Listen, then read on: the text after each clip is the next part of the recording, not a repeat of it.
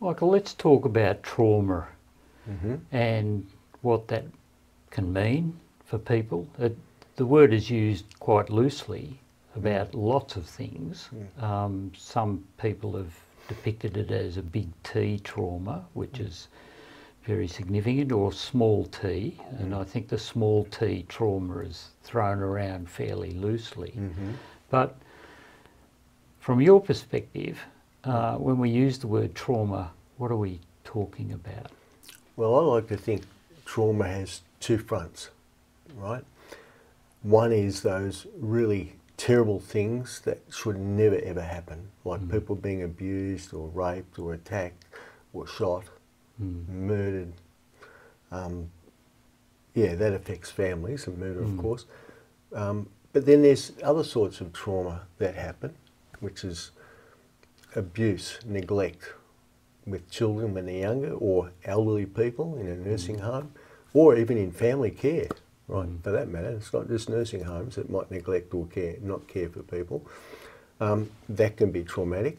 But also, there's another form of trauma. Um, when I was younger, my dad had a car accident not far from where we are now, and he lost his arm in that accident, and that was quite traumatic for him. Um, it was quite traumatic for the family, right? Uh, I myself had an accident in my workplace many years ago where I fell off a scaffold onto a concrete floor, falling nine metres, and that was trauma to my body, mm. but also to my sense of self mm. when I was able to move around again after a mm. number of months. And so there's trauma that comes in the form of physical injury, mm-hmm. there's trauma that comes in the form of psychological impact, there's trauma that comes in the form of threat to life, and there's trauma that comes in the form of threat to relationship, hmm. even. Hmm. So it, it, trauma itself is not just about one type of thing. Hmm. Yeah. Yeah. And, you know, some people will say that we can measure this, and there are measures for certain sorts of trauma, and they use the word PTSD. So, um, can you explain a bit about that?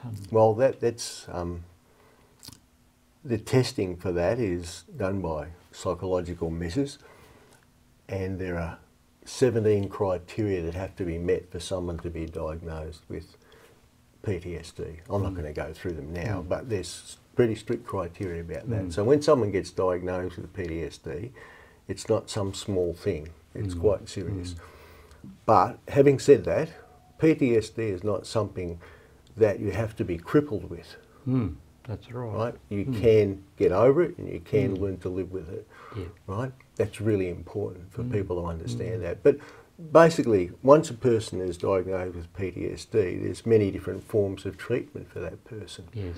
They don't have to just sit in a chair and not go out their front door. Hmm, Like, yeah. yeah.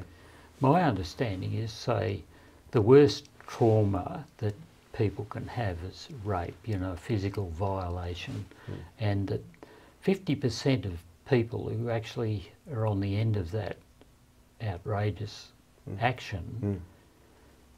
Get PTSD, but 50% don't. Hmm. Combat, combat veterans, the same. 40% if they've been in you know heavy combat situations will get PTSD as opposed to the 60% who Yeah. don't. So hmm.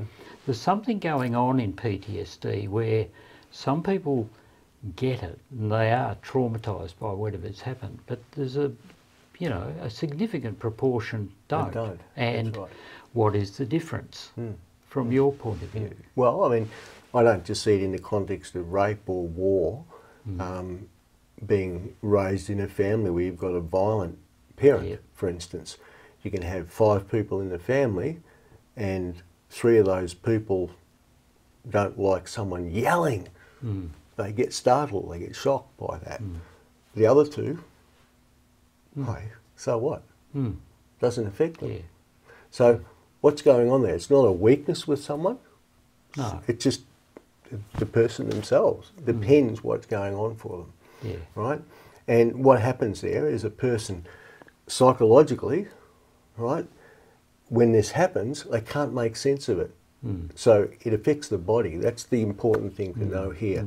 Trauma gets trapped in the body. It's not just a mind thing. It's not Yeah. just a thing that happens mentally. It gets trapped in the body. It affects the nervous system. Hmm. And depending on the person themselves, how their body responds to that. Hmm. And when that happens and it gets trapped in the body, that's when most people will get diagnosed Yes, with PTSD. that's when they get stuck on That's- whatever it is. Yes, that's Yeah. when they get stuck on Yes. whatever it is. That's Yeah. right. Whether it's a, Mm. being angry or whether it's a war situation or unfortunately a sexual assault. Yeah. So there's the initial shock, and then um, people get stunned or disbelief. Yeah. They can't believe this has Yeah. happened. They Yeah. pinch themselves, or. But once that's gone in, and um, there's a there's a sort of a procedure that people almost follow, Mm. but not everybody follows this. But Mm. you know the the shock and the disbelief initially, Mm. pinch themselves. Mm. I'm, I'm in a nightmare. Um, I'll wake up. This has not happened. Mm. You know that's Mm. typical. Yeah. You know I can't believe this has happened. Mm. So. Um, people can get anxiety about things, but trauma has a different intensity, and like you're saying, it gets stuck in the body, doesn't it? That's right. Yeah. Yeah, and it's not just normal anxiety. Like. We see a lot of people who have what we call generalised anxiety or social anxiety, Mm. but this is way beyond that. Yeah. way beyond that. Mm. And it has a lot to do with how the brain changes the person's perception of themselves in any given situation, not just in a threat situation. Part of what happens is that person sees themselves in a threat situation every moment of the day, Yeah. Not just when there's a loud Yeah. noise, not just when there's a similar smell or odour. That That's can right. trigger a response, That's right. but they, they're like that all the time. Yeah, repetitively switched on, Yes. and all their systems are at high alert. high alert, higher arousal, I call Mm, that. mm. In a high arousal state constantly. And you can Yeah. imagine um, people get in a high arousal state when they go to a party and they're having a good time. Mm. And But if you were like that 24 7, seven days a week, your body would become very, very tired. Mm. Well, that's what happens with people with PTSD. Yeah. They're in high arousal state all the time and their body becomes very tired, their mind becomes very tired, their emotions become very tired. And it's not their fault. Mm. It's not because they're choosing to be like this. It's because of the PTSD. Yeah, yeah.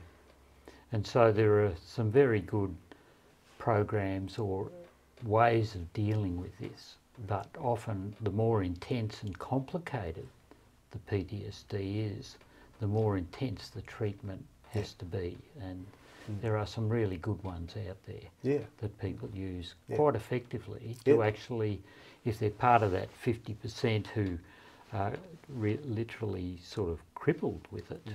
Uh, that it can lessen the effects and they can work through it. And there's that idea of you've got the trauma, but then you've got uh, post-traumatic growth, haven't you? It's like this life, this is where it happened. You know, it went through that big W thing, Mm. but you've got the people who then, yeah, that's part of my life, but they can grow in another way Yes. with yeah, their life. yeah. Yeah. And that growth doesn't just happen internally because trauma doesn't just affect the person that it happens to.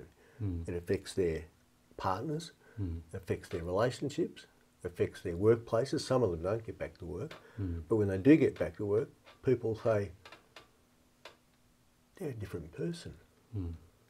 And you can imagine if someone says that to you, you're a different person, they're already feeling different in themselves, that can be quite crippling, Mm. be quite disparaging to them. Mm. So, a lot of what happens in the post traumatic growth is people have to actually see the growth not just in themselves but also in their relationships, in the way they approach life. And that has to do with their mental approach, what they think about themselves, how they, how they regulate their emotions in their body Mm. and then in their relationships.